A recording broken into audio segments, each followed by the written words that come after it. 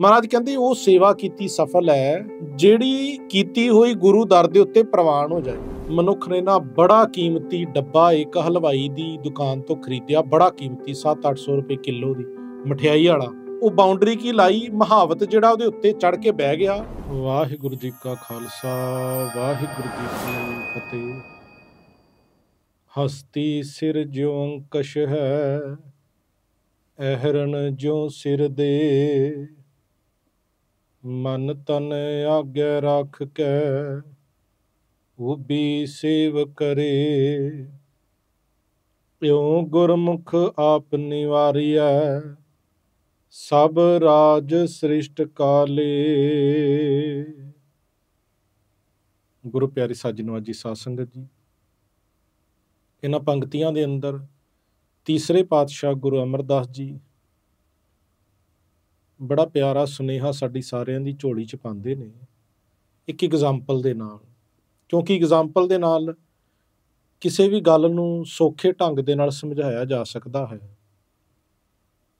Example ਦਿੰਦੇ ਨੇ, ਕਹਿੰਦੇ, ਹਸਤੀ ਸਿਰ ਜਿਉ ਅੰਕਸ਼ ਹੈ ਅਹਰਣ ਜਿਉ ਸਿਰ ਦੇ। ਮਨ ਤਨ ਆਗਿਆ ਰੱਖ ਕੇ ਉਹ ਵੀ ਸੇਵ ਕਰੇ। ਤੁਸੀਂ ਵੇਖੋ, ਅੱਜ ਸੇਵਾ ਦੀ ਗੱਲ ਕੀਤੀ ਜਾਂਦੀ ਹੈ। ਸਤਿਗੁਰ ਪਾਤਸ਼ਾਹ ਜੀ ਕਹਿੰਦੇ, ਸੇਵਾ ਇੱਕ ਮਨੁੱਖੀ ਜੀਵਨ ਦੇ ਅੰਦਰ ਇੱਕ ਅਹਿਮ ਰੋਲ ਪਲੇ ਕਰਦੀ ਹੈ, ਪਰ ਸੇਵਾ ਕਰਨੀ ਕਿਹੋ ਜੀ ਚਾਹੀਦੀ ਹੈ? ਉਹਦਾ ਖੇਤਰ ਕੀ ਹੋਵੇ? ਉਹਦੀਆਂ ਬਾਉਂਡਰੀਆਂ ਕੀ ਨੇ? ਇਹ ਸਾਰਾ ਕੁਝ ਸਾਨੂੰ ਸਮਝਣਾ ਪਏਗਾ।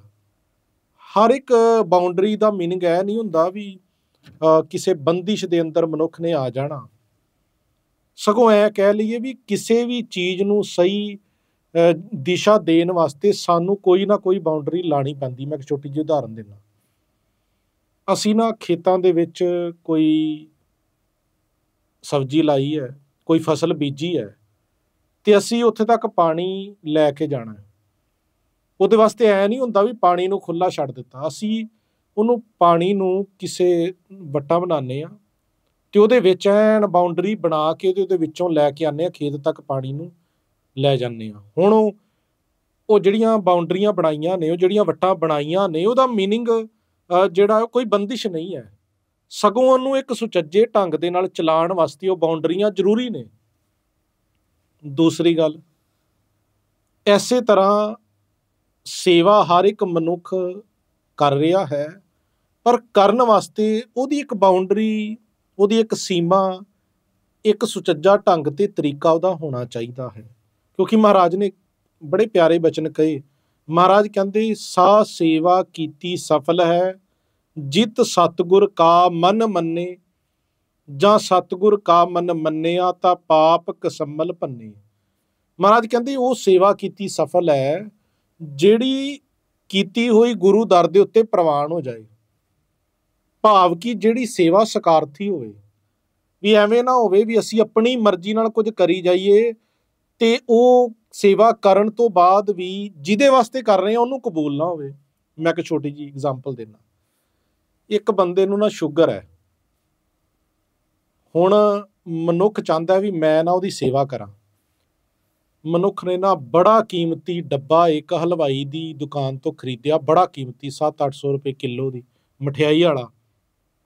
ਤੇ ਆ ਕੇ ਸ਼ੂਗਰ ਵਾਲੇ ਜਿਹੜਾ ਉਹਦਾ ਰਿਸ਼ਤੇਦਾਰ ਹੈ ਰਿਲੇਟਿਵ ਹੈ, ਉਹਦੇ ਅੱਗੇ ਰੱਖ ਦਿੱਤਾ ਵੀ ਇਹ ਦੇਖੋ ਜੀ, ਮੈਂ ਨਾ ਤੁਹਾਡੀ ਸੇਵਾ ਕਰਨ ਵਾਸਤੇ ਆਇਆ ਤੇ ਇਹ ਨਾ ਮੇਰੇ ਵੱਲੋਂ ਗਿਫਟ ਤੁਹਾਨੂੰ ਦਿੱਤਾ ਜਾਂਦਾ। ਹੁਣ ਉਹ ਆਪਣੇ ਵੱਲੋਂ ਤੇ ਸੇਵਾ ਕਰ ਰਿਹਾ ਪਰ ਜਿਹਦੇ ਵਾਸਤੇ ਕਰ ਰਿਹਾ, ਉਹਨੂੰ ਉਹ ਸੇਵਾ ਪ੍ਰਵਾਨ ਨਹੀਂ ਹੋ ਸਕਦੀ। ਐਸੇ ਤਰ੍ਹਾਂ ਹਰ ਇੱਕ ਚੀਜ਼ ਦੀ ਕੋਈ ਨਾ ਕੋਈ ਇੱਕ ਬਾਉਂਡਰੀ ਹੁੰਦੀ ਹੈ, ਜਿਹਦੀ ਗੱਲ ਗੁਰੂ ਅਮਰਦਾਸ ਪਾਤਸ਼ਾਹ ਜੀ ਕਰਦੇ ਨੇ। ਉਹ ਕਹਿੰਦੇ ਨੇ, ਹਸਤੀ ਸਿਰ ਜਿਉ ਅੰਕਸ਼ ਹੈ ਅਹਰਣ ਜਿਉ ਸਿਰ ਦੇ, ਮਨ ਤਨ ਆਗੇ ਰਾਖ ਕੇ ਉਹ ਵੀ ਸੇਵ ਕਰੇ। ਹੁਣ ਉਹਦੇ ਚ ਵਾਪਰ ਕੀ ਰਿਹਾ? ਕਹਿੰਦੇ ਇੱਕ ਹਾਥੀ ਹੈ ਤੇ ਅੱਜ ਤੇ ਸਾਡੇ ਕੋਲ ਅਨੇਕਾਂ ਸਾਧਨ ਨੇ, ਉਹਨੂੰ ਕੰਟਰੋਲ ਕਰਨ ਦੇ। ਗੁਰੂ ਪਾਤਸ਼ਾਹ ਜੀ ਆਪਣੇ ਆਲੇ ਦੁਆਲੇ ਦੇ ਵਿੱਚੋਂ ਐਗਜ਼ਾਮਪਲ ਦਿੰਦੇ ਨੇ। ਕਹਿੰਦੇ ਹਾਥੀ ਜਿਹੜਾ ਨਾ, ਉਹ ਕਿਸੇ ਉਜਾੜੇ ਦਾ ਕਾਰਨ ਬਣ ਜਾਂਦਾ ਸੀਗਾ, ਜਦੋਂ ਉਹ ਆਪਣੀ ਮਰਜ਼ੀ ਦੇ ਅਕੋਰਡਿੰਗ ਤੁਰਦਾ ਸੀਗਾ ਫਿਰ ਕੀ ਕੀਤਾ ਗਿਆ ਉਹ ਬਾਉਂਡਰੀ ਕੀ ਲਾਈ ਮਹਾਵਤ ਜਿਹੜਾ ਉਹਦੇ ਉੱਤੇ ਚੜ ਕੇ ਬਹਿ ਗਿਆ ਤੇ ਇੱਕ ਕੁੰਡਾ ਜਿਹੜਾ ਉਹਦੇ ਸਿਰ ਤੇ ਲਟਕਾ ਦਿੱਤਾ ਹੁਣ ਹਾਥੀ ਚੱਲ ਰਿਹਾ ਹੈ ਕੰਮ ਉਹੀ ਕਰ ਰਿਹਾ ਹੈ ਪਰ ਮਹਾਵਤ ਨੇ ਸਿਰ ਦੇ ਉੱਤੇ ਕੁੰਡਾ ਲਾ ਦਿੱਤਾ ਤੇ ਉਹਦਾ मीनिंग ਸੀਗਾ ਕੁੰਡਾ ਲਾਣ ਦਾ ਵੀ ਹਾਥੀ ਨੂੰ ਹੁਣ ਜੀਵੇ ਚਾਹੇ ਉਵੇਂ ਚਲਾਇਆ ਜਾ ਸਕਦਾ ਹੈ ਮਹਾਰਾਜ ਨੇ ਕਿਹਾ ਭਾਈ ਇਹ ਮਨ ਜਿਹੜਾ ਹੈ ਨਾ ਇਹ ਉਜਾੜੇ ਦਾ ਕਾਰਨ ਵੀ ਬਣ ਸਕਦਾ ਹੈ ਤੇ ਇਹ ਮਨ ਸੰਸਾਰ ਦੇ ਉੱਤੇ ਸਵਰਗ ਦਾ ਕਾਰਨ ਵੀ ਬਣ ਸਕਦਾ। ਇਹ ਸੰਸਾਰ ਨੂੰ ਸਵਰਗ ਵੀ ਬਣਾ ਸਕਦਾ, ਸੰਸਾਰ ਨੂੰ ਉਜਾੜ ਵੀ ਸਕਦਾ। ਉਹੀ ਹਾਥੀ ਜਿਹੜਾ ਕੱਲ ਤੱਕ ਉਜਾੜੇ ਦਾ ਕਾਰਨ ਬਣਦਾ ਸੀਗਾ, ਉਹ ਜਦੋਂ ਮਹਾਵਤ ਨੇ ਸਿਰ ਦੇ ਉੱਤੇ ਕੁੰਡਾ ਲਟਕਾ ਦਿੱਤਾ, ਹੁਣ ਉਹੀ ਹਾਥੀ ਜਿਹੜਾ ਉਹ ਕਿਸੇ ਦੇ ਵਾਸਤੇ ਰਸਤਾ ਬਣਾ ਰਿਹਾ ਹੈ। ਉਹ ਕਿਸੇ ਦੇ ਭਲਾਈ ਦੇ ਕਰਮ ਕਰ ਰਿਹਾ ਹੈ। ਸਤਿਗੁਰ ਪਾਤਸ਼ਾਹ ਜੀ ਕਹਿੰਦੇ ਨੇ, ਭਾਈ ਤੂੰ ਸੇਵਾ ਕਰਨੀ ਆ ਨਾ, ਸੇਵਾ ਮਨ ਤੇ ਤਨ ਨਾਲ ਕਰ। ਬੜੇ ਪਿਆਰੇ ਢੰਗ ਤਰੀਕੇ ਮਹਾਰਾਜ ਨੇ ਕਹੇ, ਬਾਣੀ ਦੇ ਅੰਦਰ ਸਾਨੂੰ ਦੱਸੀ। ਹੁਣ ਕਮਾਲ ਦੀ ਬਾਤ ਹੈ, ਵਾਪਰਦੀ ਹੈ। ਸੇਵਾ ਦੇ ਨਾਂ ਦੇ ਉੱਤੇ ਅੱਜ ਮਨੁੱਖ ਜਿਹੜਾ ਨਾ, ਜਦੋਂ ਗੁਰੂ ਪਾਤਸ਼ਾਹ ਜੀ ਦੇ ਇਹਨਾਂ ਬਚਨਾਂ ਨੂੰ ਅੱਖੇ ਓਲੇ ਕਰ ਦਿੰਦਾ ਫਿਰ ਸੇਵਾ ਦਾ ਨਾਂ ਲੈ ਕੇ ਨਾ ਮਨੁੱਖ ਇੱਕ ਦੂਸਰੇ ਦਾ ਸਿਰ ਪਾੜਨ ਤੱਕ ਅੱਜ ਜਾ ਰਹੇ ਨੇ। ਕਮਾਲ ਹੋ ਗਈ। ਤੇ ਫਿਰ ਸਭ ਤੋਂ ਵੱਡੀ ਗੱਲ ਹੈ, ਗੁਰਦੁਆਰੇ ਦੇ ਅੰਦਰ ਇੱਕ ਦੂਸਰੇ ਨੂੰ ਡਾਂਗਾ ਮਾਰ ਕੇ, ਇੱਕ ਦੂਸਰੇ ਦੀਆਂ ਪੱਗਾਂ ਲਾ ਕੇ ਕਹਿੰਦੇ ਜੀ ਅਸੀਂ ਗੁਰੂ ਦੀ ਸੇਵਾ ਕਰ ਰਹੇ ਹਾਂ। ਭਾਈ ਕਿਹੜੀ ਸੇਵਾ ਹੋਈ ਹੈ? ਸਾਰੀ ਹਿਸਟਰੀ ਦੇ ਅੰਦਰ ਗੁਰੂ ਨੇ ਕਿਹੜੇ ਕਿਹੜੇ ਟਾਈਮ ਪੀਰੀਅਡ ਦੇ ਅੰਦਰ ਇਹੋ ਜੀ ਸੇਵਾ ਕਰਨ ਵਾਸਤੇ ਕਿਹਾ? ਰਿਐਲਿਟੀ ਇਹਨਾਂ ਕਰਮਾਂ ਦੀ ਇਹ ਹੈ, ਮਹਾਰਾਜ ਕਹਿੰਦੇ, ਭਾਈ, ਮਨ ਤਨ ਆਗਿਆ ਰੱਖ ਕੇ ਉਹ ਵੀ ਸੇਵ ਕਰੇ, ਉਹ ਸੇਵਾ ਕਰ, ਗੁਰੂ ਨੂੰ ਪੁੱਛ ਕੇ।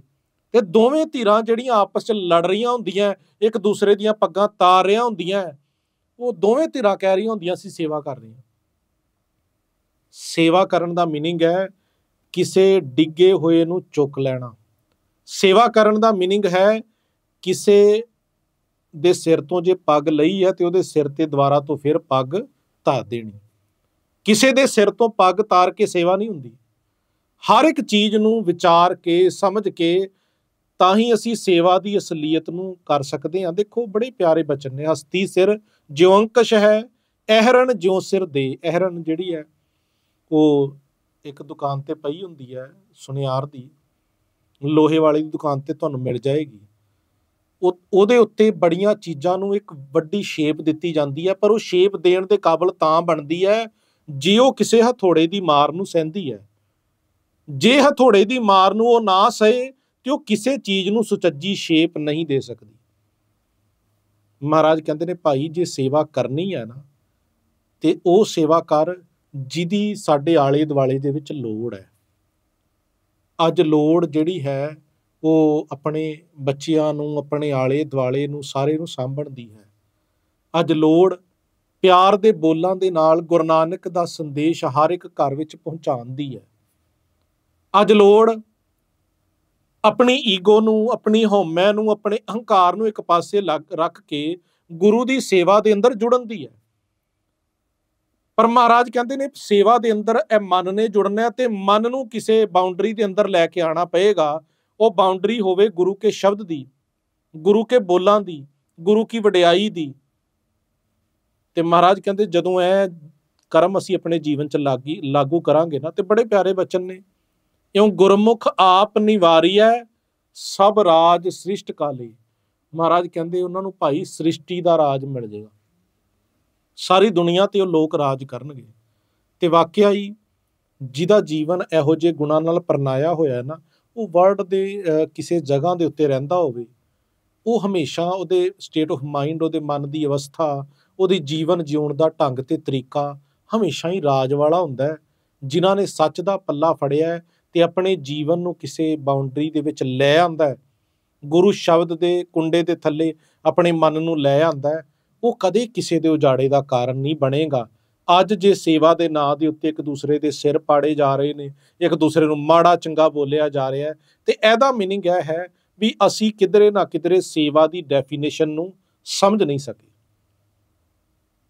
ਸਤਿਗੁਰ ਪਾਤਸ਼ਾਹ ਜੀ ਰਹਿਮਤ ਕਰਨ ਗੁਰੂ ਪਾਤਸ਼ਾਹ ਜੀ ਨੇ ਜੀਵਨ ਦੇ ਅੰਦਰ ਇਹ ਸਾਰੀਆਂ ਚੀਜ਼ਾਂ ਸਿਖਾਈਆਂ ਗੁਰੂ ਨਾਨਕ ਸਾਹਿਬ ਜੀ ਸਾਰੀ ਜ਼ਿੰਦਗੀ ਗੁਰਤਾ ਗੱਦੀ ਦੀ ਜ਼ਿੰਮੇਵਾਰੀ ਸੰਭਾਲਦੇ ਰਹੇ ਤੇ ਆਪਣੇ ਜਿਉਂਦਿਆਂ ਜੀ ਆਪ ਭਾਈ ਲੈਣਾ ਜੀ ਦੇ ਚਰਨਾਂ 'ਚ ਨਮਸਕਾਰ ਕਰਕੇ ਉਹਨਾਂ ਨੇ ਇਹ ਗੱਲ ਸਮਝਾ ਦਿੱਤੀ ਵੀ ਭਾਈ ਜਿਹੜਾ ਉਸ ਸੇਵਾ ਦਾ ਅਸਰ ਹੱਕਦਾਰ ਹੈ, ਇਹ ਸੇਵਾ ਜਿਉਂਦਿਆਂ ਜੀ ਗੁਰੂ ਨਾਨਕ ਸਾਹਿਬ ਜੀ ਭਾਈ ਲੈਣਾ ਜੀ ਨੂੰ ਦੇ ਗਏ ਵੀ ਇਹ ਮੇਰੀ ਕੋਈ ਨਿੱਜੀ ਜ਼ਗੀਰ ਨਹੀਂ ਹੈ, ਇਹਦੇ ਕਾਬਲ ਕੋਈ ਬਣ ਜਾਏ ਤੇ ਉਹਨੂੰ ਇਹ ਸੇਵਾ ਅੱਜ ਭਾਈ ਮਿਲ ਜਾਣੀ ਚਾਹੀਦੀ ਹੈ।